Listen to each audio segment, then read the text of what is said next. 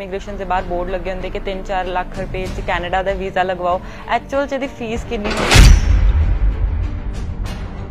ਅੱਜ ਕੱਲ ਦਾ ਜਿਹੜਾ 90% ਆਫ ਦਾ ਬੱਚਾ ਹੈ ਉਹ ਸਿਰਫ ਕੈਨੇਡਾ ਨੂੰ ਹੀ ਜਾਣਾ ਚਾਹੁੰਦਾ ਹੈ।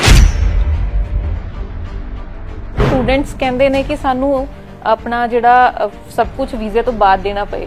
ਸੋ ਇਹ ਕਦੇ ਵੀ ਨਹੀਂ ਹੁੰਦਾ। ਫਾਈਲ ਅਪਲਾਈ ਕਰ ਦਿੰਦੇ ਆ ਫਿਰ ਹਫ਼ਤੇ ਬਾਅਦ ਕੀ ਅ, 10000 ਦੇ ਦਿਓ ਫਾਈਲ ਚਾਰਜ ਦਾ ਐਮਬੈਸੀ ਫੀਸ ਦੇ ਦਿਓ। ਕੋਈ ਵੀ ਏਜੰਟ ਆਪਣੀ ਜੇਬ ਤੋਂ ਤੁਹਾਡੇ ਲਈ ਐਕਸਪੈਂਡੀਚਰ ਨਹੀਂ ਕਰੇਗਾ। ਬਹੁਤ ਈਜ਼ੀ ਹੈ। ਯੂਐਸ ਦਾ ਵੀਜ਼ਾ ਲੈਣਾ ਇਜ਼ ਦਾ ਸਿੰਪਲੈਸਟ ਨਹੀਂ ਜਾਣਦਾ ਕਿ ਯੂਐਸਏ ਜਾਣਾ ਬਹੁਤ ਔਖਾ ਹੈ। ਅਮਰੀਕਾ ਜਾਣਾ ਬਹੁਤ ਔਖਾ ਹੈ। ਸਭ ਦੇ ਮਨ ਦੇ ਵਿੱਚ ਇੱਕ ਗੱਲ ਬੈਠੀ ਹੋਈ ਹੈ। USA ਇਜ਼ ਆਲਵੇਜ਼ ਓਪਨ ਉਹਦੇ ਵਿੱਚ ਬਹੁਤ ਅੱਛਾ ਰਹਿੰਦਾ ਹੈ ਕਿਉਂਕਿ ਉਹਦੇ ਵਿੱਚ ਕੋਈ ਵੀ ਤੁਹਾਡੀ ਫੀਸ ਬਿਫੋਰ ਵੀਜ਼ਾ ਨਹੀਂ ਜਾਂਦੀ ਐਕਸੈਪਸ਼ਨ ਐਮਬੈਸੀ ਫੀਸ ਤੁਹਾਡੀ ਸਾਰੀ ਫੀਸ 100% ਫੀਸ ਵੀਜ਼ਾ ਤੋਂ ਬਾਅਦ ਹੈ। ਯੂਕੇ ਦਾ ਵੀ ਬਹੁਤ ਟ੍ਰੈਂਡ ਚੱਲ ਰਿਹਾ ਕਿ ਵਿਦਆਊਟ ਆਇਲਸ ਯੂਕੇ ਭੇਜ ਦਿੰਦੇ ਆ student that there is no future in that particular country. ਸਤਿ ਤੁਸੀਂ ਦੇਖ ਰਹੇ ਹੋ ਔਨ ਤੇ ਮੈਂ ਹਾਂ ਠਾਕੁਰ। ਉਮੀਦ ਕਰਦੇ ਹਾਂ ਤੁਸੀਂ ਸਾਰੇ ਜਾਣੇ ਠੀਕ ਠਾਕ ਹੋਵੋਗੇ। ਅੱਜ ਕੱਲ ਦੀ ਨੌਜਵਾਨ ਪੀੜ੍ਹੀ ਯੂਥ ਜ਼ਿਆਦਾਤਰ ਬਾਹਰ ਜਾਣ ਨੂੰ ਪ੍ਰੈਫਰੈਂਸ ਦਿੰਦਾ ਹੈ। ਲੇਕਿਨ ਅੱਜ ਕੱਲ ਦੇ ਬੱਚਿਆਂ ਨਾਲ ਜ਼ਿਆਦਾ ਉਹਨਾਂ ਦੇ ਪੇਰੈਂਟਸ ਵੀ ਬਹੁਤ ਜ਼ਿਆਦਾ ਇੰਟਰਸਟ ਲੈਂਦੇ ਕਿ ਸਾਡਾ ਬੱਚਾ ਬਾਹਰ ਚੱਲ ਜੇ ਸੈਟਲਡ ਹੋ ਜੇ ਲੇਕਿਨ ਵੀਜ਼ਾ ਕਿਸ ਤੋਂ ਲਵਾਈਏ, ਇਹ ਸਭ ਤੋਂ ਪਹਿਲਾ ਸਵਾਲ ਹੁੰਦਾ ਹੈ ਕਿਉਂਕਿ ਅੱਜ ਕੱਲ ਇਸ ਲਾਈਨ ਦੇ ਵਿੱਚ ਬਹੁਤ ਜ਼ਿਆਦਾ ਫਰਾਡ ਵੀ ਚੱਲ ਰਿਹਾ ਤੇ ਬਹੁਤ ਜ਼ਿਆਦਾ ਕੰਪੀਟੀਸ਼ਨ ਵੀ ਹੈ ਕਿਉਂਕਿ ਇਮੀਗ੍ਰੇਸ਼ਨ ਆਫਿਸ ਬਹੁਤ ਜ਼ਿਆਦਾ ਓਪਨ ਹੋ ਗਿਆ ਲੇਕਿਨ ਮੈਂ ਇੱਕ ਇਮੀਗ੍ਰੇਸ਼ਨ ਦਾ ਨਾਮ ਬਹੁਤ ਜ਼ਿਆਦਾ ਪਿਛਲੇ ਕਾਫੀ ਲੰਬੇ ਸਮੇਂ ਤੋਂ ਸੁਣਦੀ ਆ ਰਹੀ ਹਾਂ ਡੈਫੋਡਿਲਸ ਜਿਨ੍ਹਾਂ ਦੇ ਆਫਿਸ ਤੋਂ ਅੱਜ ਸਾਡੇ ਨਾਲ ਨਿਤਿਕਾ ਤੇ ਮਨਪ੍ਰੀਤ ਸਟੂਡੀਓ ਦੇ ਵਿੱਚ ਮੌਜੂਦ ਵੀ ਨੇ। ਉਹਨਾਂ ਦੇ ਨਾਲ ਬਹੁਤ ਸਾਰੀ ਇਸ ਟੌਪਿਕ ਤੇ ਗੱਲਬਾਤ ਕਰਾਂਗੇ ਕਿ ਬਾਹਰ ਜਾਣ ਲਈ ਕਿਹੜੀ ਕਿਹੜੀ ਚੀਜ਼ ਰਿਕੁਆਇਰਮੈਂਟ ਹੈ। ਉਹਨਾਂ ਨੇ ਇੰਨੇ ਟਾਈਮ 'ਚ ਕਿਹੜੀ ਚੀਜ਼ ਫੇਸ ਕੀਤੀ ਹੈ ਕਿ ਸਟੂਡੈਂਟਸ ਦੀ ਆ ਰਿਕੁਆਇਰਮੈਂਟਸ ਕੰਪਲੀਟ ਹੋਣੀਆਂ ਚਾਹੀਦੀਆਂ ਤਾਂ ਕਿ ਉਹ ਆਪਣਾ ਵੀਜ਼ਾ ਈਜ਼ੀਲੀ ਹਾਸਿਲ ਕਰ ਸਕਣ। ਸਭ ਤੋਂ ਪਹਿਲਾਂ ਮੈਂ ਉਹਨਾਂ ਦਾ ਔਨਰ ਤੇ ਸਵਾਗਤ ਕਰਦੀ ਹਾਂ। ਸਤਿ ਸ਼੍ਰੀ ਅਕਾਲ ਸਰ ਸਤਿ ਸ਼੍ਰੀ ਅਕਾਲ ਮੈਮ ਸਤਿ ਸ਼੍ਰੀ ਅਕਾਲ। ਠੀਕ ਹੋ? ਜੀ ਬਹੁਤ ਸਰ ਮੈਂ ਪਹਿਲਾ ਸਵਾਲ ਤੁਹਾਨੂੰ ਪੁੱਛਣਾ ਚਾਹੁੰਦੀ ਹਾਂ ਕਿ ਵਾਈ ਡੈਫੋਡਿਲਸ ਮਤਲਬ ਸਟੂਡੈਂਟਸ ਤੁਹਾਡੇ ਕੋਲ ਕਿਉਂ ਆਣ ਐਸਾ ਕੀ ਹੈ ਤੁਹਾਡੇ ਇੰਸਟੀਚਿਊਟ ਜਾਂ ਇਮੀਗ੍ਰੇਸ਼ਨ ਦੇ ਵਿੱਚ ਸਪੈਸ਼ਲ ਕਿ ਬੱਚੇ ਤੁਹਾਡੇ ਕੋਲ ਵੀਜ਼ਾ ਲਗਵਾਉਣ ਲਈ ਆਣ ਜੀ ਮੈਮ ਡੈਫੋਡਿਲ ਜੋ ਵਰਕ ਕਰ ਰਿਹਾ ਸਿੰਸ 2005 ਤੋਂ ਵਰਕ ਕਰ ਰਿਹਾ। ਜੀ। ਸੋ ਜੋ ਸਾਡੇ ਐਮਡੀ ਨੇ ਕਿ ਉਹ ਮਿਸਿਸ ਬਾਵਨਾ ਵਸ਼ਿਸ਼ਟਾ ਨੇਗੇ ਉਹ ਚੰਡੀਗੜ੍ਹ ਹੈੱਡ ਆਫਿਸ ਬੈਠਦੇ ਨੇਗੇ। ਸੋ ਡੈਫੋਡਿਲ ਨੇ 2005 ਤੋਂ ਲੈ ਕੇ ਹੁਣ ਤੱਕ ਜੋ ਅਰਨ ਕੀਤਾ ਸੋ ਸਾਡੀ ਮੋਸਟਲੀ ਓਵਰਆਲ ਪੰਜਾਬ ਦੇ ਵਿੱਚ ਬ੍ਰਾਂਚਸ ਨੇਗੇ ਲਾਈਕ ਜਲੰਧਰ ਲੁਧਿਆਣਾ ਅੰਮ੍ਰਿਤਸਰ ਮੋਗਾ ਬਠਿੰਡਾ ਪਟਿਆਲਾ ਖੰਨਾ ਨਾਭਾ। ਬ੍ਰਾਂਚਸ ਨੇ ਗਿਆ ਦੈਨ ਹਰਿਆਣਾ ਚ ਬ੍ਰਾਂਚਸ ਨੇ ਗਿਆ ਦੈਨ ਉਸ ਤੋਂ ਬਾਅਦ ਸਾਡਾ ਕੈਨੇਡਾ ਦੇ ਵਿੱਚ ਵੀ ਆਫਿਸ ਆ ਗਿਆ ਇੱਕ ਬ੍ਰੈਂਪਟਨ ਦੇ ਵਿੱਚ ਦੈਨ ਸੈਕਿੰਡ ਸਰੀ ਦੇ ਵਿੱਚ। ਓਕੇ ਸੋ ਸੈਕਿੰਡ ਜੋ ਸਾਡੇ ਸਟੂਡੈਂਟ 2005 ਤੋਂ ਜਿਨ੍ਹਾਂ ਦਾ ਵੀਜ਼ਾ ਲੱਗਿਆ ਸੀ ਉਹ ਹੁਣ ਤੱਕ ਵੀ ਸਾਡੇ ਨਾਲ ਨੇਗੇ। ਇਵਨ ਉਹ. ਪੀਆਰ ਵੀ ਹੋ ਗਏ ਸਾਡੇ ਤੱਕ ਹੁਣ ਤੱਕ ਵੀ ਕੰਟੈਕਟ ਦੇ ਵਿੱਚ ਨੇਗੇ। ਐਂਡ ਸੈਕਿੰਡ ਡੈਫੋਡਿਲ ਬਹੁਤ ਅੱਛੀ ਚੀਜ਼ ਕਰ ਰਿਹਾ ਕਿ ਜੋ ਵੀ ਸਟੂਡੈਂਟ ਸਾਡੇ ਕੋਲ ਆਂਦਾ ਹੈਗਾ ਅਸੀਂ ਇੱਕ ਟ੍ਰਾਂਸਪੇਰੈਂਸੀ ਰੱਖਦੇ ਹਾਂ। ਅਸੀਂ ਹੀ student the direct phone number and email ID ਜਦੋਂ ਉਹਦੀ ਫਾਈਲ ਪ੍ਰੋਸੈਸ ਕਰਦੇ ਜਾਂ ਆਫਰ ਲੈਟਰ ਅਪਲਾਈ ਕਰਦੇ ਹਾਂਗੇ ਅਸੀਂ ਸਟੂਡੈਂਟ ਦਾ ਹੀ email ID and phone number apply ਕਰਦੇ ਹਾਂਗੇ ਸੋ ਤਾਂ ਕਿ ਜੋ ਵੀ ਨੋਟੀਫਿਕੇਸ਼ਨ ਕਾਲਜ ਵੱਲੋਂ ਹੈ ਜਾਂ ਅੰਬੈਸੀ ਵੱਲੋਂ ਹੈ ਉਹ ਡਾਇਰੈਕਟ ਸਟੂਡੈਂਟ ਤੱਕ ਪਹੁੰਚਦੀ ਰਹੇ। ਕਿਉਂਕਿ ਜ਼ਿਆਦਾਤਰ ਇਮੀਗ੍ਰੇਸ਼ਨ ਵਾਲੇ ਆਪਣਾ ਨੰਬਰ ਦੇ ਦਿੰਦੇ ਸਟੂਡੈਂਟਸ ਦਾ ਬਹੁਤ ਰੇਅਰ ਦਿੰਦੇ ਆ ਨੰਬਰ ਤੇ ਤੁਸੀਂ ਡਾਇਰੈਕਟ ਸਟੂਡੈਂਟਸ ਦਾ ਹੀ ਦਿੰਦੇ ਹੋ। ਜੀ ਬਿਲਕੁਲ ਬਿਲਕੁਲ। ਇਸ ਤੋਂ ਕੀ ਬੈਨੀਫਿਟ ਹੁੰਦਾ ਸਟੂਡੈਂਟਸ ਨੂੰ ਜਾਂ ਤੁਹਾਨੂੰ ਤੁਹਾਡੀ ਕੰਪਨੀ ਨੂੰ ਮੈਮ ਸੋ ਬੇਸਿਕਲੀ ਸਟੂਡੈਂਟਸ ਦਾ ਮੇਨ ਪਰਪਸ ਹੁੰਦਾ ਹੈ ਕਿ ਉਹਨੂੰ ਪਤਾ ਲੱਗਦਾ ਰਹੇ ਕਿ ਉਹਦਾ ਪ੍ਰੋਸੈਸ ਕਦੋਂ ਤੋਂ ਸਟਾਰਟ ਹੋਇਆ ਹੈ ਐਂਡ ਐਂਡਿੰਗ ਤੱਕ ਕਦੋਂ ਤੱਕ ਜਾਏਗਾ ਜਾਂ ਕਿੰਨੇ ਟਾਈਮ ਦੇ ਵਿੱਚ ਉਹਦਾ ਸਾਰਾ ਪ੍ਰੋਸੈਸ ਹੋ ਜਾਏਗਾ। ਉਹਦੀ ਫੀਸ ਸਹੀ ਹੱਥਾਂ 'ਚ ਜਾ ਰਹੀ ਹੈ ਉਹਦੀ ਫੀਸ ਬਾਈ ਚਾਂਸ ਕੱਲ ਨੂੰ ਇੱਕ ਪਰਸਨ ਕੋਈ ਵੀਜ਼ਾ ਰਿਫਿਊਜ਼ਲ ਹੁੰਦੀ ਹੈ ਕੁਝ ਹੈ ਉਹਦੀ ਫੀਸ ਸੇਫ ਹੈ ਜਾਂ ਅਨਸੇਫ ਹੈ so this is the main thing ਜਿਹਦੇ ਕਰਕੇ ਅਸੀਂ ਸਟੂਡੈਂਟ ਦੀ ਹੀ email ID and contact details student colleges ਨੂੰ ਜਾਂ ਐਮਬੈਸੀ ਨੂੰ ਪ੍ਰੋਵਾਈਡ ਕਰਦੇ ਹਾਂ। ਜਿਹਦੇ ਕਰਕੇ ਸਟੂਡੈਂਟ ਫੀਲ ਸੇਫ ਕਿ ਹਾਂ ਮੈਨੂੰ ਸਾਰਾ ਕੁਝ ਪਤਾ ਹੈ ਆਈ ਐਮ ਅਵੇਅਰ ਰਾਤ ਨੂੰ 12 ਵਜੇ ਵੀ ਉਹਨੂੰ ਕੋਈ ਈਮੇਲ ਆਂਦੀ ਹੈ ਤਾਂ ਉਹ ਸਾਨੂੰ ਦੱਸਦਾ ਹੈ ਕਿ ਹਾਂਜੀ ਮੈਨੂੰ ਇਹ ਈਮੇਲ ਆਈ ਹੈ ਇਹਦਾ। ਕੀ ਮਤਲਬ ਹੈ? Means he is aware about the every process so this is the reason ਕਿ ਉਹ ਸਟੱਡੀ ਵੀਜ਼ਾ ਦੇ ਨਾਲ ਨਾਲ ਜਦੋਂ ਤੱਕ ਪੀਆਰ ਨਹੀਂ ਹੋ ਜਾਂਦਾ ਸਾਡੇ ਕੰਟੈਕਟ ਵੀ ਰਹਿੰਦਾ ਹੈ ਐਂਡ ਈਵਨ ਹੈਪੀ ਰਹਿੰਦਾ ਹੈ ਕਿਉਂਕਿ ਅਸੀਂ 100% ਟਰਾਂਸਪੇਰੈਂਸੀ ਨਾਲ ਉਹਦੇ ਨਾਲ ਵਰਕ ਕੀਤਾ। ਜੀ ਬਿਲਕੁਲ। ਅਗਰ ਤੁਹਾਡੇ ਦੋਨਾਂ ਦੇ ਓਵਰ ਐਕਸਪੀਰੀਅੰਸ ਦੀ ਗੱਲ ਕੀਤੀ ਜਾਏ ਤਾਂ ਕਿੰਨਾ ਕਿੰਨਾ ਐਕਸਪੀਰੀਅੰਸ ਹੋ ਗਿਆ ਤੁਹਾਨੂੰ ਇਸ ਲਾਈਨ 'ਚ? ਸੋ ਬੇਸਿਕਲੀ ਮੈਨੂੰ ਲਾਸਟ 2011 ਤੋਂ ਮੈਂ ਇੱਥੇ ਵਰਕ ਕਰ ਰਹੀ ਹਾਂ ਡੈਫੋਡਲਸ ਦੇ ਵਿੱਚ ਐਂਡ ਪਟਿਆਲਾ ਬ੍ਰਾਂਚ ਦੇ ਵਿੱਚ ਮੈਨੂੰ 5 ਇਅਰਸ ਹੋ ਗਏ ਹੈ ਸੋ ਇਨ ਦਿਸ ਟਾਈਮਿੰਗ ਅਸੀਂ approximately 5000 plus student already send ਕਰ ਚੁੱਕੇ ਹਾਂ just in Canada other countries like UK Australia and New Zealand ਉਹ ਅਲੱਗ ਨੇ ਸਿਰਫ ਕੈਨੇਡਾ ਦੀ ਗੱਲ ਕਰੀਏ ਤਾਂ ਕੈਨੇਡਾ ਦੇ ਵਿੱਚ ਆਪਾਂ up to 5000 students just in last 5 years ਭੇਜ ਚੁੱਕੇ ਹਾਂ Okay. ਐਂਡ ਸਿੰਸ 2005 ਤਾਂ देयर ਆਰ ਸੋ ਮੈਨੀ ਬਿਲਕੁਲ ਬਿਲਕੁਲ ਮਤਲਬ ਓਵਰਆਲ ਤੁਸੀਂ ਇਹ- ਇਹਨਾਂ ਸਾਰੀ ਕੰਟਰੀਜ਼ ਨਾਲ ਡੀਲ ਕਰਦੇ ਹੋ ਐਂਡ ਸਪੈਸ਼ਲੀ ਕੈਨੇਡਾ ਦੇ ਨਾਲ ਕਰਦੇ ਹੋ obviously because basically ਅੱਜਕੱਲ ਦਾ ਜਿਹੜਾ 90% ਆਫ ਦਾ ਬੱਚਾ ਹੈ ਉਹ ਸਿਰਫ ਕੈਨੇਡਾ ਨੂੰ ਹੀ ਜਾਣਾ ਚਾਹੁੰਦਾ ਹੈ ਬਿਕੋਜ਼ ਆਫ ਦਿਸ ਸਿਸਟਮ ਕਿਉਂਕਿ ਉੱਥੇ PR rules and citizenship rules and everything is very nice as compare to other countries so this is the reason ਕਿ ਮੋਸਟ ਆਫ ਦਾ ਸਟੂਡੈਂਟ ਹੀ ਕੈਨੇਡਾ ਪ੍ਰੇਫਰ ਕਰਦੇ ਜੀ ਬਿਲਕੁਲ ਯੂਕੇ ਦਾ ਵੀ ਬਹੁਤ trend ਚੱਲ ਰਿਹਾ ਹੈ ਕਿ ਵਿਦਆਊਟ ਆਇਲਸ ਯੂਕੇ ਭੇਜ ਦਿੰਦੇ ਆ ਸਟੂਡੈਂਟਸ ਨੂੰ ਬਹੁਤ ਸਾਰੇ ਇਮੀਗ੍ਰੇਸ਼ਨ ਵਾਲਿਆਂ ਨੇ ਆਪਣੇ ਐਡਵਰਟਾਈਜ਼ਮੈਂਟ ਤੇ ਬਹੁਤ ਕੁਝ ਲਿਖਿਆ ਵੀ ਹੁੰਦਾ ਹੈ UK is fine ਅੱਛੀ ਕੰਟਰੀ ਹੈ ਨੂੰ ਠੀਕ ਹੈ ਪਰ the thing is that future perspective view uh, point of view ਨਾਲ ਦੇਖੀਏ ਤਾਂ there is no future in that particular country. So this is the reason ਕਿ we prefer and even student prefer ਕਿ ਅਸੀਂ ਜਿੰਨਾ, ਇੰਨਾ ਪੈਸਾ ਲਗਾ ਕੇ ਕਿਸੇ ਕੰਟਰੀ ਦੇ ਵਿੱਚ ਜਾ ਰਹੇ ਹਾਂ ਸੋ ਸਾਡਾ ਫਿਊਚਰ ਵੀ ਸਿਕਿਉਰ ਹੋਵੇ in the PR point of View.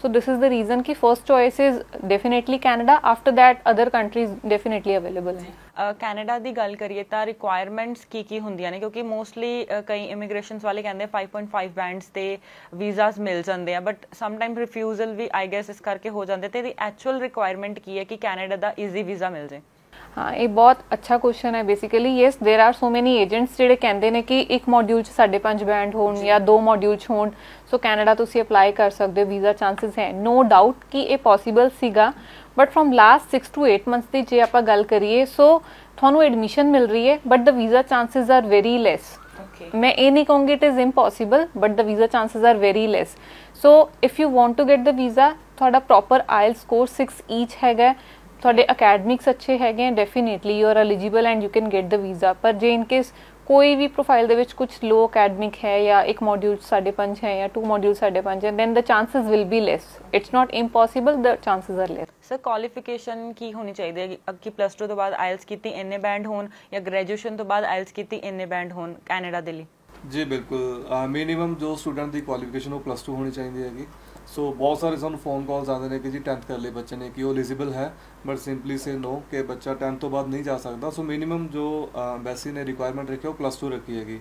So plus 2 ਦੇ ਵਿੱਚ ਡੈਫੀਨਿਟਲੀ ਆਪਾਂ ਦੇਖਦੇ ਹਾਂ ਕਿ ਬੱਚੇ ਦੇ ਅੱਛੇ ਮਾਰਕਸ ਨੇਗੇ। ਲਾਈਕ 60% ਮਾਰਕਸ ਨੇਗੇ ਤਾਂ ਉਹ ਅੱਛੇ ਚ ਕਾਊਂਟ ਹੁੰਦੇ ਨੇਗੇ। ਜੀ। 60 ਅਬਵ ਨੇ ਤਾਂ ਹੋਰ ਅੱਛੇ ਮਾਰਕਸ ਨੇਗੇ।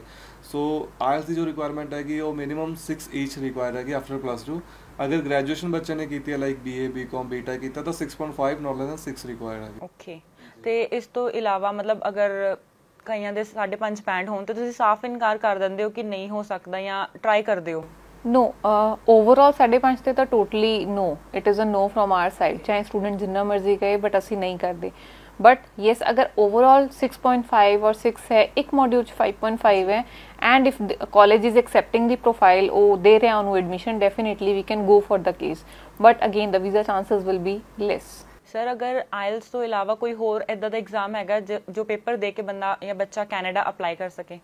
ਜੀ ਬਿਲਕੁਲ ਫਰਸਟ ਜੋ ਹੈ ਟੌਪ ਤੇ ਆਇਲਸ ਹੈ ਦੈਨ ਸੈਕਿੰਡ ਆਪਾਂ ਗੱਲ ਕਰੀਏ ਪੀਟੀ ਅੱਜਕੱਲ ਬੱਚੇ ਬਹੁਤ ਕਰ ਰਹੇ ਨੇ। ਪੀਟੀ ਦਾ ਜੋ ਵੀਜ਼ਾ ਰੇਸ਼ੋ ਹੈ ਬਹੁਤ ਅੱਛਾ ਹੈਗਾ।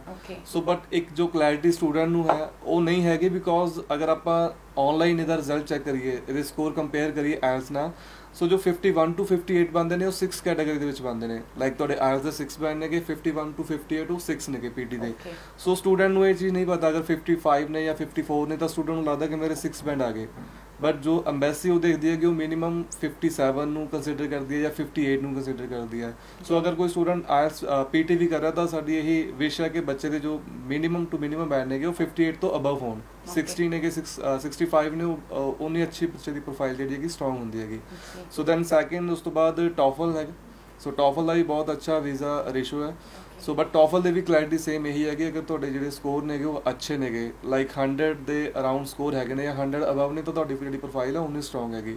ਸੋ ਇਹ ਦੋ ਟੈਸਟ ਨੇਗੇ ਲਾਈਕ ਜਿਹੜੇ ਆਇਲਸ ਟੋਫਲ ਤੇ ਪੀਟੀ ਜੋ ਕਿ ਤੁਹਾਡੇ ਅਸੈਪਟਡ ਨੇਗੇ ਫॉर ਸਟੱਡੀ ਵੀਜ਼ਾ ਦੇ ਲਈ। ਸੋ ਨੈਕਸਟ ਡੂਓਲਿੰਗੋ ਟੈਸਟ ਆ ਜਾਂਦਾ ਬਟ ਉਹ ਇੱਕ ਐਡਮਿਸ਼ਨ ਦੇ ਲਈ ਤਾਂ ਹੈ ਬਟ ਵੀਜ਼ਾ ਪਰਪਸ ਦੇ ਲਈ ਆਪਾਂ ਉਹਨੂੰ ਨਹੀਂ ਕੰਸੀਡਰ ਕਰ ਸਕਦੇ। ਤੁਹਾਡਾ ਆਇਲਸ ਇੰਸਟੀਚਿਊਟ ਵੀ ਹੈਗਾ, ਤੁਸੀਂ ਉਹਨਾਂ ਬੱਚਿਆਂ ਨੂੰ ਆਇਲਸ ਵੀ ਸਿਖਾਉਂਦੇ ਹੋ। Yes definitely what we do is ਕਿ ਜੇ ਕਿਸੇ ਸਟੂਡੈਂਟ ਦਾ ਕਿਸੇ ਮੋਡਿਊਲ ਦੇ ਵਿੱਚ ਘੱਟ ਬੈਂਡ ਸਕੋਰ ਹੈ ਜਾਂ ਕੁਝ ਵੀ ਹੈ and he is willing to repeat so ਅਸੀਂ ਉਹਦਾ ਪ੍ਰੋਸੈਸ ਨਾਲ ਨਾਲ ਕਰਕੇ ਸਟਾਰਟ ਉਹਨੂੰ ਆਇਲਸ ਵੀ ਆਪਣੇ ਕੋਲ ਕਰਵਾਉਂਦੇ ਆ ਸੋ ਦੈਟ ਉਹਦੀ ਜਦੋਂ ਤੱਕ ਫਾਈਲ ਲੌਜਮੈਂਟ ਹੋਣੀ ਹੈ ਉਦੋਂ ਤੱਕ ਇੰਪਰੂਵਮੈਂਟ ਹੋ ਜੇ and he can get better visa result okay ਤੇ ਕਿਹਾ ਜਾਂਦਾ ਸੀ ਨਾ ਕਿ ਪੀਟੀ ਤੇ ਟੋਫਲ ਦੇ ਅਗਰ ਜਿਨ੍ਹਾਂ ਨੇ ਐਗਜ਼ਾਮ ਦਿੱਤੇ ਹੋ ਕੈਨੇਡਾ ਦਾ ਵੀਜ਼ਾ ਉਹਨਾਂ ਨੂੰ ਨਹੀਂ ਮਿਲਦਾ। ਬਹੁਤ ਸਾਰੇ ਇੰਸਟੀਚਿਊਟ ਵਾਲੇ ਇਮੀਗ੍ਰੇਸ਼ਨਸ ਵਾਲੇ ਏਜੰਟਸ ਇਹ ਗੱਲ ਕਹਿੰਦੇ ਆ ਕਿ ਆਇਲਸ ਹੀ ਕਰਕੇ ਆਓ। ਯੈਸ ਬਿਲਕੁਲ, ਇਹ ਬਿਲਕੁਲ ਟਰੂ ਹੈ ਐਂਡ ਇਸੇ ਕਰਕੇ ਬਹੁਤ ਜ਼ਿਆਦਾ ਸਟੂਡੈਂਟ ਮਿਸਗਾਈਡ ਹੁੰਦੇ ਆ ਐਂਡ ਉਹਨਾਂ ਨੂੰ ਲੱਗਦਾ ਹੈ ਕਿ ਪੀਟੀ ਜੇ ਉਹਨਾਂ ਦੀ ਰਿਜੈਕਸ਼ਨ ਆਈ ਹੈ ਤਾਂ ਪੀਟੀ ਕਰਕੇ ਆਈ ਹੈ but it is never the case ਜੇ ਇਨ ਕੇਸ ਤੁਹਾਡੀ ਫਾਈਲ ਇੱਕ ਚੰਗੇ ਤਰੀਕੇ ਨਾਲ ਰਿਪਰੈਜ਼ੈਂਟਡ ਹੈ ਤੁਹਾਡੀ ਸਟੇਟਮੈਂਟ ਆਫ ਪਰਪਸ ਅੱਛੀ ਲਿਖੀ ਗਈ ਹੈ ਐਂਡ ਤੁਹਾਡੀ ਅਕੈਡਮਿਕਸ ਅੱਛੇ ਹੈ ਪੀਟੀ ਸਕੋਰ ਅੱਛਾ ਹੈ ਲਾਈਕ ਸਰ ਸੈਡ ਕਿ 58 ਤੋਂ ਅਬਵ ਹੈਗਾ। Definitely the chances are good ਇਦਾਂ ਦਾ ਕੁਝ ਨਹੀਂ ਹੈ ਕਿ ਪੀਟੀ ਐਕਸੈਪਟੇਬਲ ਨਹੀਂ ਹੈ। ਸਾਡੇ ਬਹੁਤ ਵੀਜ਼ਾਸ ਆਏ ਨੇ ਐਂਡ ਈਵਨ ਜੇ ਤੁਸੀਂ ਉਹ ਵੀਜ਼ਾਸ ਦੇਖਣਾ ਚਾਹੁੰਦੇ ਹੋ ਸਾਡਾ ਸੋਸ਼ਲ ਮੀਡੀਆ ਤੇ ਅਕਾਊਂਟ ਹੈ ਇੰਸਟਾਗ੍ਰam ਤੇ ਡੈਫੋਡਿਲਸ ਪਟਿਆਲਾ ਦੇ ਨਾਮ ਤੋਂ ਐਂਡ ਈਵਨ YouTube ਚੈਨਲ ਵੀ ਹੈ ਡੈਫੋਡਿਲਸ ਪਟਿਆਲਾ ਦੇ ਨਾਮ ਤੋਂ ਤੁਸੀਂ ਸਾਰੀ ਸਕਸੈਸ ਸਟੋਰੀਜ਼ ਉੱਥੇ ਦੇਖ ਸਕਦੇ ਹੋ। ਐਂਡ uh, ਉੱਥੇ ਦੇਖ ਸਕਦੇ ਹੋ ਸਟੂਡੈਂਟ ਦੇ ਰਿਵਿਊਜ਼ ਕੀ ਹੈ ਉੱਥੇ profile and everything is mentioned so you can go for ਇੱਕ ਕੁਐਸਚਨ ਹੈ ਮੇਰਾ ਕਿ why students want to go abroad sir ਕਿਉਂ ਮਤਲਬ ਪੰਜਾਬ ਦੇ ਬੱਚੇ ਬਾਹਰ ਜਾਣਾ ਜਾਣਾ ਜਾਣਾ ਪ੍ਰੈਫਰ ਕਰਦੇ ਆ? ਕਿਉਂ? ਸੋ ਮੈਮ ਤੁਹਾਡਾ ਬਹੁਤ ਅੱਛਾ ਕੁਐਸਚਨ ਹੈ। ਬਿਕੋਜ਼ ਜੋ ਅੱਜ ਦਾ ਟ੍ਰੈਂਡ ਹੈਗਾ ਪਲੱਸ 2 ਤੋਂ ਬਾਅਦ ਬੱਚੇ ਦੀ ਇੱਕ ਇਹੀ ਵਿਸ਼ ਹੈ ਜਾਂ ਡਿਮਾਂਡ ਕਹ ਲਓ ਕਿ ਜੀ ਮੈਂ ਹੁਣ ਆਇਸ ਕਰਨੀ ਹੈਗੀ ਤਾਂ ਉਸ ਤੋਂ ਬਾਅਦ ਮੈਂ ਆਪਣਾ ਕੈਨੇਡਾ ਜਾਂ ਆਸਟ੍ਰੇਲੀਆ ਜੋ ਵੀ ਬੱਚੇ ਦੀ ਪ੍ਰੈਫਰੇਬਲ ਕੰਟਰੀ ਹੈਗੀ ਉੱਥੇ ਜਾਣਾ ਸੋ ਬਟ ਇਹ ਹੋਇਆ ਕਿਉਂ ਹੈਗਾ? ਲਾਈਕ ਅੱਜ ਤੋਂ 5 ਸਾਲ ਅਗਰ ਆਪਾਂ ਗੱਲ ਕਰੀਏ ਤਾਂ ਲਾਈਕ ਜਿਹੜਾ ਆਪਣਾ ਮਾਲਵਾ ਏਰੀਆ ਬਹੁਤ ਘੱਟ ਸੀਗਾ। ਜੀ। ਸੋ ਹੁਣ ਸਟੂਡੈਂਟ ਨੇ ਦੇਖਿਆ ਕਿ ਗ੍ਰੈਜੂਏਸ਼ਨ ਕਰ ਲਈ ਕਿਸੇ ਨੇ ਬੀਟੈਕ ਕਰ ਲਈ ਜਾਂ ਕਿਸੇ ਨੇ ਮੈਡੀਕਲ ਕਰ ਲਿਆ ਜੋ ਸਕੋਪ ਇੱਥੇ ਬਹੁਤ ਘੱਟ ਹੈਗਾ। ਲਾਈਕ ਉਦਾਂ ਦੀਆਂ ਜੌਬਸ ਨਹੀਂ ਮਿਲ ਪਾਈਆਂ ਜਾਂ। ਜੋ ਸੈਲਰੀ ਪੈਕੇਜ ਆਫਟਰ ਗ੍ਰੈਜੂਏਸ਼ਨ ਉਹ ਲਾਈਕ ਉਹਨਾਂ ਨਹੀਂ ਮਿਲ ਪਾਇਆ ਜਿੰਨਾ ਇੱਕ ਸਟੂਡੈਂਟ ਦੀ ਡਿਮਾਂਡ ਸੀਗੀ। ਸੋ ਅਗਰ ਆਪਾਂ ਕੰਪੇਅਰ ਕਰੀਏ ਆਫਟਰ ਪਲੱਸ 2 ਬੱਚਾ ਕੈਨੇਡਾ ਚਲੇ ਜਾਂਦਾ 3 ਸਾਲ ਦੇ ਵਿੱਚ ਉਹ ਜਿਹੜਾ ਉਹਦਾ ਫਿਊਚਰ ਹੈਗਾ ਕਾਫੀ ਹੱਦ ਤੱਕ ਠੀਕ ਹੋ ਜਾਂਦਾ। ਬਟ ਇਹੀ ਅਗਰ ਬੱਚਾ ਇੰਡੀਆ ਦੇ ਵਿੱਚ ਰਹਿ ਕੇ ਲਾਈਕ ਕੋਈ ਬੀਏ ਕਰ ਲੇ ਬੀਕਾਮ ਕਰ ਲੇ ਬੀਬੀਏ ਬੀਸੀਏ ਵਟਐਵਰ ਕੁਝ ਵੀ ਕਰ ਲੇ। ਬਟ ਉਹਨੇ ਤਾਂ ਫਿਲਹਾਲ ਇੱਕ ਆਪਣੀ ਗ੍ਰੈਜੂਏਸ਼ਨ ਹੀ ਕੰਪਲੀਟ ਕੀਤੀ ਹੈ। ਬਟ ਇਹੀ ਬੱਚਾ ਅਗਰ ਆਪਾਂ ਕੈਨੇਡਾ 'ਚ ਦੇਖੀਏ ਤਾਂ ਉਹ ਕਾਫੀ ਹੱਦ ਤੱਕ ਕੁਝ ਮਨੀ ਜਿਹੜੀ ਹੈਗੀ ਉਹ ਆਪਣਾ ਕਮਾ ਕੇ। ਐਗਜ਼ੈਕਟਲੀ ਉਹ ਵੀ ਕਮਾ ਕੇ ਆਪਣੀ ਘਰੇ ਭੇਜ ਚੁੱਕਿਆ ਤੇ ਦਨ ਉੱਥੇ ਵੀ ਉਹਦੀ ਜਿਹੜੀ ਲਾਈਫ ਹੈ ਕਾਫੀ ਹੱਦ ਤੱਕ ਸੈਟਲ ਹੋ ਚੁੱਕੀ ਹੁੰਦੀ ਆ। ਸੋ ਇਹੀ ਰੀਜ਼ਨ ਹੈ ਜੋ ਬੱਚੇ ਅੱਜ ਦੇ ਟਾਈਮ ਪਲੱਸ 2 ਤੋਂ ਬਾਅਦ ਇੱਕ ਕਹਿ ਲਓ ਕਿ ਜ਼ਰੀਆ ਬਣ ਗਿਆ ਬਾਹਰ ਜਾਣ ਦਾ। ਇੱਕ ਮਤਲਬ ਆਪਣੇ ਘਰ ਲਈ ਵੀ ਰਿਸਪੌਂਸਿਬਿਲਟੀ ਸੰਭਾਲ। ਲੈਂਦਾ ਹੈ। ਤੇ ਡਾਕੂਮੈਂਟਸ ਬਹੁਤ ਜ਼ਿਆਦਾ ਹੁੰਦੇ ਆ ਅਗਰ ਅਸੀਂ ਕੋਈ ਫਾਈਲ ਅਪਲਾਈ ਕਰਦੇ ਆ ਤੇ ਐਸਓਪੀ ਕੀ ਚੀਜ਼ ਹੈ ਕੀ ਡਾਕੂਮੈਂਟ ਹੈ ਕਿਉਂਕਿ ਜ਼ਿਆਦਾਤਰ ਸਟੂਡੈਂਟਸ ਨੂੰ ਨਹੀਂ ਪਤਾ ਹੁੰਦਾ ਜਾਂ ਏਜੰਟਸ ਵੀ ਨਹੀਂ ਦੱਸਦੇ ਉਹਨਾਂ ਨੂੰ। ਦ ਮੋਸਟ ਇੰਪੋਰਟੈਂਟ ਡਾਕੂਮੈਂਟ ਅੱਜ ਦੇ ਦਿਨ ਦੇ ਵਿੱਚ ਜਿਹੜਾ ਆਪਾਂ ਗੱਲ ਕਰੀਏ ਸਟੇਟਮੈਂਟ ਆਫ ਪਰਪਸ ਇਹਦਾ ਫੁੱਲ ਨੇਮ ਹੈ। ਐਸਓਪੀ ਸਟੇਟਮੈਂਟ ਆਫ ਪਰਪਸ ਇਹ ਬਹੁਤ ਜ਼ਿਆਦਾ ਇੰਪੋਰਟੈਂਟ ਡਾਕੂਮੈਂਟ ਇਸ ਕਰਕੇ ਹੈ ਕਿਉਂਕਿ ਮੋਸਟ ਆਫ ਦੀ ਸਟੂਡੈਂਟਸ ਦੀ ਅੱਛੀ ਪ੍ਰੋਫਾਈਲ ਹੈ ਅੱਜਕੱਲ ਡਿਊ ਟੂ ਕੋਵਿਡ ਬਹੁਤ ਸਾਰੇ ਸਟੂਡੈਂਟਸ हैं ਜਿਨ੍ਹਾਂ ਦੇ 80% 70% ਮਾਰਕਸ ਆਬਵੀਅਸਲੀ ਆਏ ਹੈ। So embassy is nowadays confused ਕਿ ਸਟੂਡੈਂਟ ਦੇ ਸਾਰਿਆਂ ਦੀ ਇੰਨਾ ਅੱਛਾ ਪ੍ਰੋਫਾਈਲ ਹੈ, ਅਸੀਂ ਕਿਹਨੂੰ ਵੀਜ਼ਾ ਦਈਏ, ਕਿਹਨੂੰ ਨਹੀਂ। ਸੋ ਸਟੇਟਮੈਂਟ ਆਫ ਪਰਪਸ ਦੇ ਵਿੱਚ ਉਹ ਆਪਣੀ ਪੂਰੀ ਬੈਕਗ੍ਰਾਉਂਡ ਮੈਂਸ਼ਨ ਕਰਦਾ ਹੈ ਫੈਮਿਲੀ ਪਰਸਪੈਕਟਿਵ ਮੈਂਸ਼ਨ ਕਰਦਾ ਹੈ ਫਿਊਚਰ ਪਲਾਨਸ ਮੈਂਸ਼ਨ ਕਰਦਾ ਹੈ।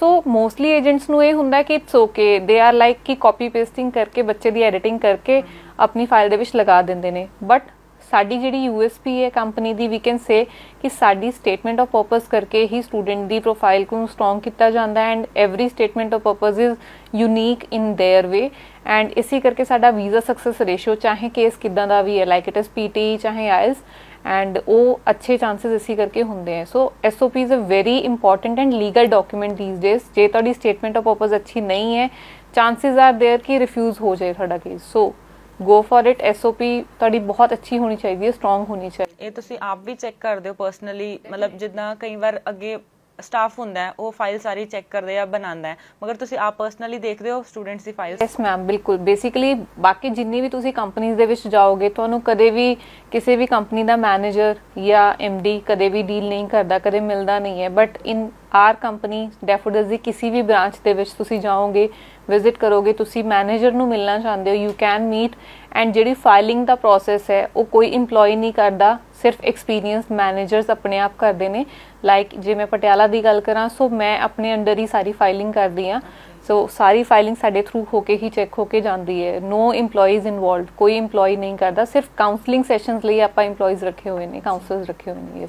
ਇੱਕ ਮੈਮ ਆ ਵੀ ਬਹੁਤ ਟ੍ਰੈਂਡ ਹੈ ਸੋਸ਼ਲ ਮੀਡੀਆ ਤੇ ਦੇਖ ਲਿਓ ਜਾਂ ਫਿਰ ਇਮੀਗ੍ਰੇਸ਼ਨ ਦੇ ਬਾਹਰ ਬੋਰਡ ਲੱਗੇ ਹੁੰਦੇ ਕਿ 3-4 ਲੱਖ ਰੁਪਏ ਚ ਕੈਨੇਡਾ ਦਾ ਵੀਜ਼ਾ ਲਗਵਾਓ। ਐਕਚੁਅਲ ਚ ਇਹਦੀ ਫੀਸ ਕਿੰਨੀ ਹੁੰਦੀ ਹੈ ਕਿ ਬੱਚੇ ਬਹੁਤ ਕਨਫਿਊਜ਼ ਹੋ ਜਾਂਦੇ ਕਿ ਨਹੀਂ ਆ ਤਾਂ ਜ਼ਿਆਦਾ ਲੈ ਰਹੇ ਆ ਅਸੀਂ ਘੱਟ ਵੱਲ ਜਾਂਦੇ ਕਿਉਂਕਿ ਆਬਵੀਅਸ ਹੈ ਜਿੱਥੇ ਘੱਟ ਪੈਸੇ ਲੱਗੋਗੇ ਬੱਚਾ ਤਾਂ ਉਧਰ ਹੀ ਜਾਏਗਾ।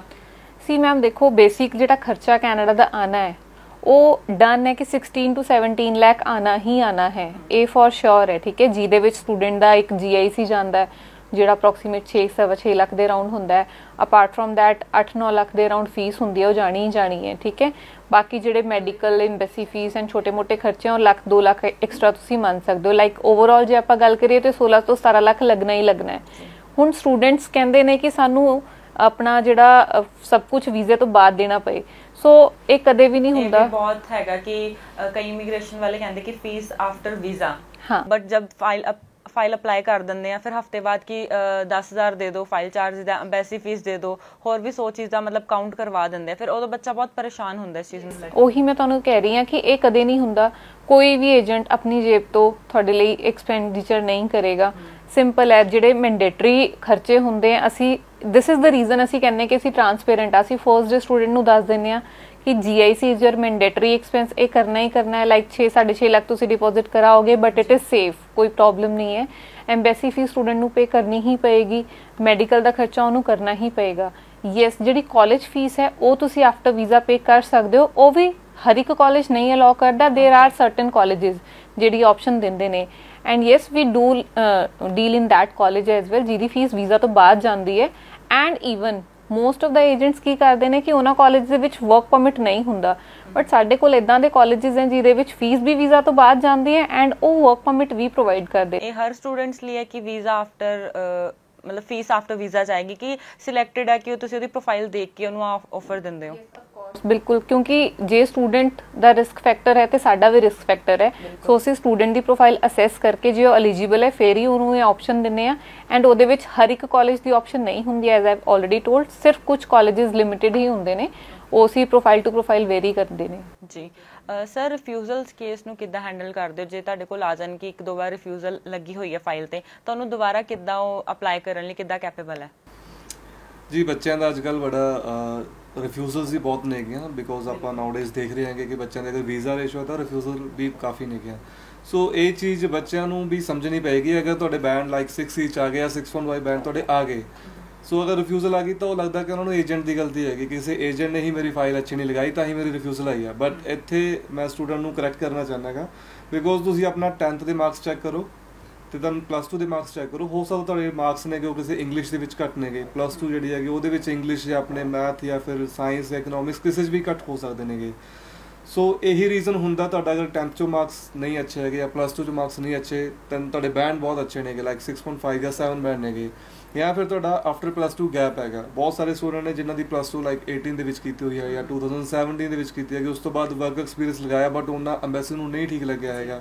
ਸੋ ਇੱਕ ਇਹ ਵੀ ਰੀਜ਼ਨ ਹੁੰਦਾ ਹੈਗਾ ਰਿਫਿਊਜ਼ਲ ਦਾ। ਜੀ। ਸੋ ਮੇਨ ਅਸੀਂ ਸਟੂਡੈਂਟ ਦੀ ਅਗਰ ਕਿਸੇ ਦੀ ਰਿਫਿਊਜ਼ਲ ਆਉਂਦੀ ਹੈ ਤਾਂ ਪਹਿਲਾਂ ਉਹਨੂੰ ਕ੍ਰਾਸ ਵੈਰੀਫਾਈ ਕਰੀਦਾ ਹੈਗਾ ਕਿ ਸਟੂਡੈਂਟ ਦਾ ਰੀਜ਼ਨ ਕੀ ਹੋ ਸਕਦਾ ਮੇਨ ਉਹਦੇ ਆਇਲਸ ਬੈਂਡ ਘੱਟ ਨੇ ਜਾਂ ਪੀਟੀ ਦੇ ਬੈਂਡ ਘੱਟ ਨੇ ਜਾਂ ਫਿਰ ਉਹਦਾ 10th ਪਲੱਸ 2 ਦੇ ਮਾਰਕਸ ਨੇਗੇ ਫਿਰ ਜੋ ਵੀ ਉਹਦਾ ਸਾਨੂੰ ਪਤਾ ਲੱਗਦਾ ਕਿ ਇਹਦੇ 10th ਚੋਂ ਮਾਰਕਸ ਘੱਟ ਨੇ ਜਾਂ ਪਲੱਸ 2 ਚੋਂ ਤਾਂ ਸਟੂਡੈਂਟ ਨੂੰ ਅਸੀਂ ਰੈਕਟੀਫਾਈ ਕਰੀਦਾ ਤਾਂ ਉਹਨੂੰ ਦੱਸੀਦਾ ਕਿ ਤੇਰੀ ਇਹ ਪ੍ਰੋਬਲਮ ਸੀਗੀ। ਫਿਰ ਦੈਨ ਸਟੂਡੈਂਟ ਦਾ ਨੈਕਸਟ ਕੁਐਸਚਨ ਜੀ ਹੁਣ ਮੇਰਾ ਵੀਜ਼ਾ ਆ ਸਕਦਾ ਜਾਂ ਨਹੀਂ ਆ ਸਕਦਾ। ਸੋ ਬਿਲਕੁਲ ਆ ਸਕਦਾ ਬਿਕੋਜ਼ ਜੋ ਵੀਜ਼ਾ ਆਫੀਸਰ ਨੇ ਤੁਹਾਡੀ ਚੀਜ਼ ਨੋਟ ਕੀਤੀ ਹੈਗੀ ਸੋ ਦੈਨ ਉਹ ਸਟੇਟਮੈਂਟ ਦੇ ਵਿੱਚ ਆਪਾਂ ਉਹਨੂੰ ਇੰਪਰੂਵ ਕਰ ਸਕਦੇ ਹਾਂਗੇ। ਬਿਕੋਜ਼ 10th ਪਲੱਸ 2 ਇੱਕ ਇਦਾਂ ਦੇ ਮਾਰਕਸ ਨੇ ਕਿ ਉਹ ਦੁਬਾਰਾ ਆਪਾਂ ਇੰਪਰੂਵ ਨਹੀਂ ਕਰ ਸਕਦੇ ਹੈਗੇ। ਸੋ ਉਹਦੀ ਆਪਾਂ ਜਸਟੀਫਿਕੇਸ਼ਨ ਦੇ ਸਕਦੇ ਆ ਉਹਦੀ ਸਟੇਟਮੈਂਟ ਦੇ ਸਕਦੇ ਆ ਜੀ ਇਹ ਮੇਰਾ ਸਕੋਰ ਸੀ ਜਿਹੜਾ 10th ਜਾਂ ਪਲੱਸ 2 ਦੇ ਵਿੱਚ ਘੱਟ ਸੀਗਾ ਕਿਸ ਰੀਜ਼ਨ ਕਰਕੇ ਘੱਟ ਸੀਗਾ? ਸੋ ਤੁਹਾਡੀ ਉਸ ਟਾਈਮ ਹੈਲਥ ਕੰਡੀਸ਼ਨ ਠੀਕ ਨਹੀਂ ਸੀ ਜਾਂ ਜੋ ਵੀ ਐਕਸ ਵਾਈ ਜ਼ੈਡ ਰੀਜ਼ਨ ਆਪਾਂ ਕੋਈ ਵੀ ਮਤਲਬ ਰੀਜ਼ਨ ਦੇ ਕੇ ਉਹਨੂੰ ਆਪਾਂ ਦੁਬਾਰਾ ਤੋਂ ਅਪਲਾਈ ਕਰ ਜਸਟੀਫਾਈ ਸਕਦੇ ਕਰਦੇ ਹਾਂ ਆਪਾਂ ਉਹਨੂੰ। ਜੀ ਬਹੁਤ ਸਾਰੇ ਇਮੀਗ੍ਰੇਸ਼ਨ ਸਟੱਡੀ ਵੀਜ਼ਾ ਦੇ ਨਾਲ ਨਾਲ ਹੋਰ ਵੀ ਬਹੁਤ ਸਾਰੇ ਵੀਜ਼ਾ ਲਗਾ ਦਿੰਦੇ ਟੂਰਿਸਟ ਲਗਾ ਦਿੰਦੇ ਮਲਟੀਪਲ ਤੁਸੀਂ ਕਰਦੇ ਹੋ ਕੁਝ ਹੋਰ ਚੀਜ਼ ਦੇ ਨਾਲ ਡੀਲ ਬਿਲਕੁਲ ਅਸੀਂ ਸਟੱਡੀ ਵੀਜ਼ਾ ਦੇ ਨਾਲ ਨਾਲ ਟੂਰਿਸਟ ਵੀਜ਼ਾ ਅਪਲਾਈ ਕਰਦੇ ਹਾਂ ਬਟ ਉਹ ਵੀ ਇਹ ਨਹੀਂ ਹੈਗਾ ਕਿ ਕੋਈ ਵੀ ਕੈਂਡੀਡੇਟ ਆ ਜਾਏ ਆਪਾਂ ਲੈ ਲੈਂਦੇ ਹਾਂ ਨੋ ਜੇ ਇਨ ਕੇਸ ਕੋਈ ਸਟੂਡੈਂਟ ਹੈ, ਉਹਨਾਂ ਦੇ ਪੇਰੈਂਟਸ ਅਪਲਾਈ ਕਰਨਾ ਚਾਹੁੰਦੇ ਨੇ only in that case this is the reason ਕਿ ਸਾਡਾ ਟੂਰਿਸਟ ਵੀਜ਼ਾ ਦਾ ਵੀ 100% ਸਕਸੈਸ ਰੇਸ਼ੋ ਹੈ. ਐਂਡ ਈਵਨ ਜੇ ਇਨ ਕੇਸ ਕੋਈ ਰਿਲੇਟਿਵ ਜਾਂ ਕੋਈ ਫਰੈਂਡ ਸਰਕਲ ਹੈ, ਕੋਈ ਜਾਣਾ ਚਾਹੁੰਦਾ ਵੀ, ਅਸੀਂ ਉਹਨਾਂ ਨੂੰ ਪਹਿਲਾਂ ਹੀ ਇਹ ਦੱਸ ਦਿੰਦੇ ਹਾਂ ਕਿ ਦਿਸ ਇਜ਼ ਦੀ ਕ੍ਰਾਈਟੇਰੀਆ ਬਹੁਤ ਚਾਂਸਸ ਵਿਲ ਬੀ ਦਿਸ ਫਿਰ still if they are interested they can but ਅਸੀਂ ਇਹ ਨਹੀਂ ਹੈਗਾ ਕਿ ਹਰ ਇੱਕ ਨੂੰ like youngsters the visa chances are very less generally 25 to 30 age ਦੇ ਵਿੱਚ ਜਿਹੜੇ ਮੁੰਡੇ ਹੁੰਦੇ ਨੇ ਜਾਂ ਕੁੜੀਆਂ ਹੁੰਦੀਆਂ ਨੇ ਜਾਣਾ ਚਾਹੁੰਦੀਆਂ ਨੇ ਚਾਹੇ ਉਹਨਾਂ ਦੇ ਰੀਅਲ ਬ੍ਰਦਰ ਸਿਸਟਰਸ ਹੀ ਉੱਥੇ ਹੈਗੇ ਨੇ but the chances are less embassy ਉਹਨਾਂ ਨੂੰ ਵੀਜ਼ਾ ਨਹੀਂ ਦਿੰਦੀ ਜਨਰਲੀ ਸੋ ਅਸੀਂ ਉਹ ਚੀਜ਼ ਉਹਨਾਂ ਨੂੰ ਪਹਿਲਾਂ ਹੀ ਕਲੀਅਰ ਕਰ ਦਿੰਦੇ so we just do parents cases ਜਿਹਦੇ ਵਿੱਚ ਸਾਡਾ ਸਕਸੈਸ ਰੇਸ਼ੋ ਬਹੁਤ ਅੱਛਾ ਹੈ। ਓਕੇ ਤੇ ਟਾਈ ਅਪ ਸਾਡੇ ਕਾਲਜਸ ਯੂਨੀਵਰਸਿਟੀ ਦੇ ਨਾਲ ਡਾਇਰੈਕਟ ਹੈ ਜਾਂ ਕਿਸੇ ਦੇ ਥਰੂ ਕਰਦੇ ਹੋ? ਕਿਉਂਕਿ ਅੱਜ ਕੱਲ ਜਿਹੜੇ ਏਜੰਟ ਜਾਂ ਨਵਾਂ ਕੋਈ ਬਿਜ਼ਨਸ ਸਟਾਰਟ ਕਰਦੇ ਕਿਸੇ ਦੇ ਥਰੂ ਕੰਮ ਕਰਵਾਉਂਦਾ ਅੱਗੇ। ਤੁਹਾਡੇ ਡਾਇਰੈਕਟ ਟਾਈ ਅਪਸ ਹੈ ਬਾਹਰ ਕੰਟਰੀਜ਼ ਚ ਕਾਲਜਸ ਦੇ ਨਾਲ? ਜੀ, ਬਿਲਕੁਲ ਮੈਮ ਤੁਸੀਂ ਸੁਣਿਆ ਕਿ ਸਾਡੀ ਕੰਪਨੀ 2005 ਤੋਂ ਆ ਸੋ ਜਿੰਨੇ ਵੀ ਲਾਈਕ ਕਾਲਜਸ ਨੇ ਯੂਨੀਵਰਸਿਟੀਜ਼ ਨੇ, ਉਹ ਸਾਡੇ ਡਾਇਰੈਕਟ ਟਾਈਪ ਨੇਗੇ। ਸੋ ਸਾਨੂੰ ਕਾਫੀ ਟਾਈਮ ਹੋ ਗਿਆ ਕੰਮ ਕਰਦੇ ਹੋਏ। ਸੋ ਕੈਨੇਡਾ ਦੀ ਗੱਲ ਨਹੀਂ ਕਰਦੇ ਆਪਾਂ ਲਾਈਕ ਨਿਊਜ਼ੀਲੈਂਡ ਹੋ ਗਿਆ ਆਸਟ੍ਰੇਲੀਆ ਹੋ ਗਿਆ ਯੂਕੇ ਜਿੱਥੇ ਵੀ ਆਪਾਂ ਕੰਮ ਕਰਦੇ ਹਾਂ, ਸਾਡੇ ਡਾਇਰੈਕਟ ਟਾਈਪ ਨੇਗੇ। ਜੋ ਸਾਡੇ ਡੀ ਸੀਗੇ, ਉਹ ਲਾਈਕ ਆਸਟ੍ਰੇਲੀਅਨ ਸਿਟੀਜ਼ਨ ਸੀਗੇ, ਉੱਥੇ ਆਪਣੀ ਉਹਨਾਂ ਨੇ ਸਟੱਡੀ ਕੰਪਲੀਟ ਕੀਤੀ ਤਾਂ ਉਹ ਵਾਪਸ ਇੰਡੀਆ ਆਏ। ਸੋ ਬਹੁਤ ਅੱਛੇ ਉਹਨਾਂ ਦੇ ਹੋਲਡ ਹੈਗੇ, ਜਿੰਨੇ ਵੀ, ਮਤਲਬ ਕਾਲਜਸ ਨੇਗੇ, ਉਹ ਸਾਡੇ ਡਾਇਰੈਕਟ ਨੇਗੇ। ਸੋ ਮੈਂ ਐਡ ਔਨ ਇਹ ਵੀ ਕਰਨਾ ਚਾਹੁੰਦੀ ਹਾਂ ਕਿ ਕੋਈ ਵੀ ਕਾਲਜ ਬੇਸਿਕਲੀ ਤੁਹਾਨੂੰ ਕਦੇ ਵੀ ਰਿਪਰੈਜ਼ੈਂਟੇਸ਼ਨ ਇਦਾਂ ਹੀ ਨਹੀਂ ਦੇ ਦਿੰਦਾ। ਉਹ ਤੁਹਾਡਾ ਰਿਕਾਰਡ ਚੈੱਕ ਕਰਦਾ ਹੈ ਪ੍ਰੀਵੀਅਸਲੀ ਬੇਸਿਕਲੀ ਕਿ ਤੁਸੀਂ ਕਿੰਨੇ ਸਟੂਡੈਂਟਸ ਭੇਜੇ ਹੈ ਉਹਨਾਂ ਦਾ ਕੀ ਫੀਡਬੈਕ ਰਿਹਾ ਹੈ। ਬਾਕੀ ਕਾਲਜਸ ਦਾ ਤੁਹਾਡੇ ਨਾਲ ਵਰਕਿੰਗ ਦਾ ਕੀ ਫੀਡਬੈਕ ਰਿਹਾ ਤਾਂ ਹੀ ਤੁਹਾਨੂੰ ਰਿਪਰੈਜ਼ੈਂਟੇਸ਼ਨ ਮਿਲਦੀ ਹੈ। ਥਿਸ ਇਜ਼ ਦ ਰੀਜ਼ਨ ਕਿ ਜਿਹੜੇ ਨਵੇਂ ਏਜੰਟਸ ਉਹਨਾਂ ਨੂੰ ਰਿਪਰੈਜ਼ੈਂਟੇਸ਼ਨ ਨਹੀਂ ਮਿਲਦੀ। ਸੋ ਪੁਰਾਣੇ ਏਜੰਟਸ ਦੇ ਕੋਲ ਹੀ ਰਿਪਰੈਜ਼ੈਂਟੇਸ਼ਨ ਹੁੰਦੀ ਹੈ।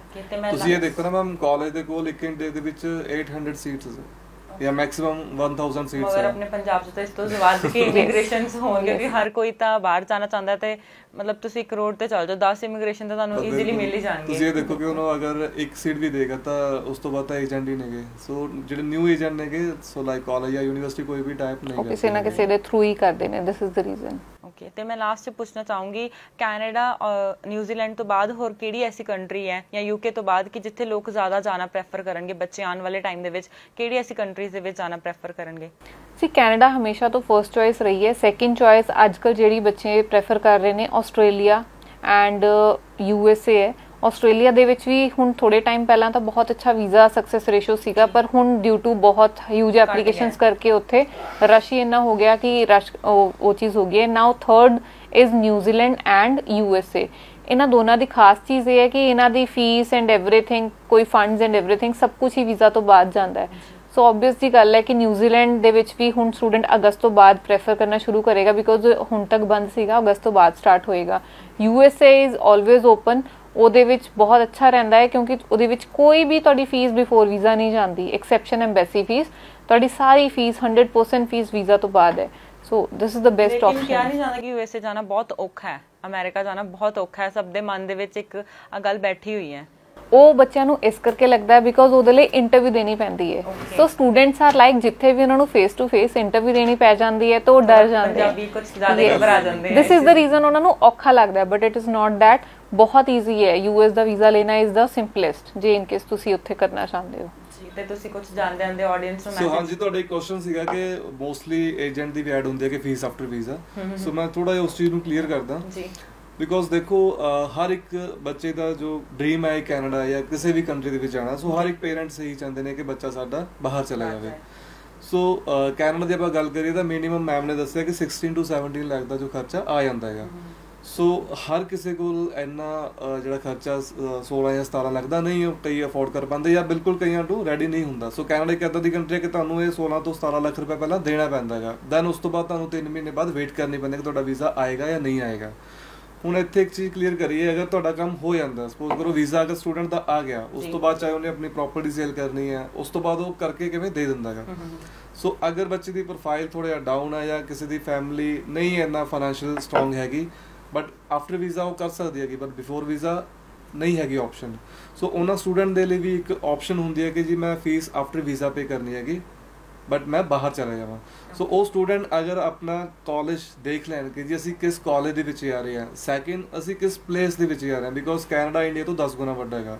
ਸੋ ਬਹੁਤ ਪਲੇਸਸ ਐਦਾਂ ਦੀਆਂ ਨੇ ਜਿਹੜੀਆਂ ਕਿ ਆਊਟਰ ਕੈਨੇਡਾ ਸਿਟੀ ਵੀ ਹੈਗੇ ਨੇਗੇ ਓਕੇ ਸੋ ਅਗਰ ਸਟੂਡੈਂਟ ਆਪਣਾ ਇਹ ਚੀਜ਼ ਕ੍ਰਾਸ ਚੈੱਕ ਕਰ ਲੈਣ ਚਾਹੇ ਕਿਸੇ ਵੀ ਏਜੰਟ ਤੋਂ ਆਪਣਾ ਨੇ ਫਾਈਲ ਲਗਵਾਣੀ ਹੈ ਸੋ ਉਹਨਾਂ ਦਾ ਕਾਲਜ ਮੇਨ ਸਿਟੀ ਵਿੱਚ ਹੈ ਜਾਂ ਨਹੀਂ ਹੈ ਸੈਕਿੰਡ ਉਹ ਕਾਲਜ ਉਹਨਾਂ ਨੂੰ ਵਰਕ ਪਰਮਿਟ ਦੇਵੇਗਾ ਜਾਂ ਨਹੀਂ ਦੇਵੇਗਾ ਤਾਂ ਕਿ ਸਟੂਡੈਂਟ ਅਗਰ ਆਪਣਾ 1 ਸਾਲ ਕੰਪਲੀਟ ਕਰ ਲੈਣ 2 ਸਾਲ ਕੰਪਲੀਟ ਕਰ ਲੈਣ ਉਸ ਤੋਂ ਬਾਅਦ ਉਹਨਾਂ ਨੂੰ ਵਾਪਸ ਨਾ ਆਉਣਾ ਪਵੇ ਜੀ। ਉਸ ਤੋਂ ਬਾਅਦ ਉਹਨਾਂ ਨੂੰ ਦੁਬਾਰਾ ਫੇਰ ਨਾ ਸਟੱਡੀ ਕੰਪਲੀਟ ਕਰਨੀ ਪਵੇ ਕਿਸੇ ਗਵਰਨਮੈਂਟ ਕਾਲਜ ਦੇ ਵਿੱਚ ਵਰਕ ਪਰਮਿਟ ਦੇ ਲਈ ਸੋ ਅਗਰ ਕੋਈ ਵੀ ਕਾਲਜ ਉਹਨਾਂ ਨੂੰ ਵਰਕ ਪਰਮਿਟ ਦਿੰਦਾ ਹੈਗਾ ਫੀਸ ਆਫਟਰ ਵੀਜ਼ਾ ਲੈਂਦਾ ਹੈਗਾ ਤਾਂ ਉਹਦੇ ਵਿੱਚ ਕੋਈ ਪ੍ਰੋਬਲਮ ਨਹੀਂ ਹੈਗੀ ਉਹ ਸਟੂਡੈਂਟ ਦੇ ਲਈ ਵੀ ਇੱਕ ਬੜੀ ਅੱਛੀ ਨਿਊਜ਼ ਹੈ ਉਹਨਾਂ ਦੇ ਪੇਰੈਂਟਸ ਦੇ ਲਈ ਵੀ ਅੱਛੀ ਨਿਊਜ਼ ਹੈ ਬਿਕੋਜ਼। 5-6 ਲੱਖ ਦਾ ਖਰਚਾ ਪਹਿਲਾਂ GIC ਪੇ ਉਹ ਈਜ਼ੀਲੀ ਸਟੂਡੈਂਟ ਕਰ ਦਿੰਦੇ ਨੇਗੇ ਸੋ ਜਿਹੜਾ ਮੇਜਰ ਖਰਚਾ ਹੈਗਾ ਫੀਸ ਦਾ ਜੋ ਕਾਲਜ ਦੀ ਫੀਸ ਹੈ 10-11 ਲੱਖ ਦੇ ਅਰਾਊਂਡ ਜਾਂਦੀ ਹੈ। ਉਹ ਅਗਰ ਬੱਚੇ ਦਾ ਵੀਜ਼ਾ ਆ ਜਾਂਦਾ ਉਸ ਤੋਂ ਬਾਅਦ ਪੇ ਕਰਨੀ ਹੈ ਤਾਂ ਸਟੂਡੈਂਟ ਦੇ ਲਈ ਜਾਂ ਉਹਨਾਂ ਦੇ ਪੇਰੈਂਟਸ ਲਈ ਬਹੁਤ ਅੱਛੀ ਚੀਜ਼ ਹੈ ਇਹ। ਜੀ ਤੇ ਕੋਈ ਮੈਸੇਜ ਕਨਵੇ ਕਰਨਾ ਚਾਹੁੰਦੇ ਹੋ ਆਡੀਅנס ਨੂੰ? ਸੋ ਮੈਂ ਤੁਹਾਨੂੰ ਇਹੀ ਕਹਿਣਾ ਚਾਹੁੰਦੀ ਹਾਂ ਕਿ ਜੇ ਤੁਸੀਂ ਸਾਡੇ ਨਾਲ ਸੰਪਰਕ ਕਰਨਾ ਚਾਹੁੰਦੇ ਹੋ ਜਾਂ ਸਾਨੂੰ ਵਿਜ਼ਿਟ ਕਰਨਾ ਚਾਹੁੰਦੇ ਹੋ ਸਾਡੀ ਕਿਸੇ ਵੀ ਬ੍ਰਾਂਚ ਦੇ ਵਿੱਚ ਵਿਜ਼ਿਟ ਕਰ ਸਕਦੇ ਹੋ ਸਾਡੀਆਂ branches overall Punjab and Haryana ਦੇ ਵਿੱਚ ਅਵੇਲੇਬਲ ਨੇ ਐਂਡ ਜੇ ਤੁਸੀਂ ਵੀਡੀਓ ਕਾਉਂਸਲਿੰਗ ਜਾਂ ਆਨਲਾਈਨ ਫੋਨ ਕਾਉਂਸਲਿੰਗ ਲੈਣਾ ਚਾਹੁੰਦੇ ਹੋ, ਅਸੀਂ ਉਹ ਵੀ ਪ੍ਰੋਵਾਈਡ ਕਰਦੇ ਹਾਂ। ਬਿਕੋਜ਼ ਸਾਡੇ ਕੋਲ Hyderabad Gujarat, Ahmedabad Bombay and other cities ਤੋਂ ਵੀ ਬਹੁਤ ਸਾਰੇ ਸਟੂਡੈਂਟਸ ਨੇ ਜਿਹੜੇ ਆਨਲਾਈਨ ਪ੍ਰੋਸੈਸ ਕਰਵਾ ਰਹੇ ਨੇ। ਸਾਡੀ ਵੀਡੀਓਜ਼ ਜਾਂ ਸਕਸੈਸ ਸਟੋਰੀਜ਼ ਦੇਖਣ ਲਈ ਤੁਸੀਂ ਸਾਡੇ ਇੰਸਟਾਗ੍ਰam ਹੈਂਡਲ ਡੈਫੋਡਸ ਪਟਿਆਲਾ ਦੇ ਨੇਮ ਤੋਂ ਜਾਂ YouTube ਚੈਨਲ ਡੈਫੋਡਸ ਪਟਿਆਲਾ ਨੂੰ ਸਬਸਕ੍ਰਾਈਬ ਕਰ ਸਕਦੇ ਹੋ ਐਂਡ ਉਹਨੂੰ ਫੋਲੋ ਕਰਕੇ ਦੇਖ ਸਕਦੇ ਹੋ। ਸਾਡੀ previous stories and everything so for more information ਤੁਹਾਨੂੰ ਦਿੱਤੇ ਗਏ ਨੰਬਰ ਤੇ ਤੁਸੀਂ ਸਾਨੂੰ ਕੰਟੈਕਟ ਵੀ ਕਰ ਸਕਦੇ ਹੋ। And for any more information you can visit us thank you so much well Nitika ਤੇ ਮਨਪ੍ਰੀਤ ਦੇ ਨਾਲ ਗੱਲਬਾਤ ਕਰਕੇ ਗੱਲ ਤਾਂ ਕਲੀਅਰ ਹੋ ਗਈ ਕਿ ਕੈਨੇਡਾ ਜਾਣ ਦੇ ਲਈ ਕਿਹੜੀ-ਕਿਹੜੀ ਚੀਜ਼ਾਂ ਕਲੀਅਰ ਹੋਣੀਆਂ ਚਾਹੀਦੀਆਂ ਨੇ ਜਾਂ ਬਾਕੀ ਸਾਰੇ ਏਜੰਟ ਉਹ ਚੀਜ਼ਾਂ ਨੂੰ ਨਹੀਂ ਕਲੀਅਰ ਕਰ ਪਾਉਂਦੇ, ਉਹ ਅੱਜ ਆਈ ਥਿੰਕ ਇਸ ਅਪਡੇਟ ਦੇ ਵਿੱਚ, ਇਸ ਗੱਲਬਾਤ ਦੇ ਵਿੱਚ ਤੁਹਾਨੂੰ ਸਭ ਨੂੰ ਕਲੀਅਰ ਹੋ ਗਿਆ ਨੇ। ਅਗਰ ਤੁਸੀਂ ਵੀ ਕੈਨੇਡਾ ਜਾਂ ਫਿਰ ਕਿਸੇ ਹੋਰ ਕੰਟਰੀ ਦੇ ਵਿੱਚ ਅਪਲਾਈ ਕਰਨਾ ਚਾਹੁੰਦੇ ਹੋ ਆਪਣਾ ਬੈਟਰ ਫਿਊਚਰ ਦੇ ਲਈ, ਤੇ ਡੈਫੋਡਿਲਸ ਦੇ ਨਾਲ ਕੰਟੈਕਟ ਕਰੋ ਤੇ ਹੋਰ ਅਪਡੇਟਸ ਲਈ ਜੁੜੇ ਰਹੋ ਔਨ 에ਅਰ ਦੇ ਨਾਲ।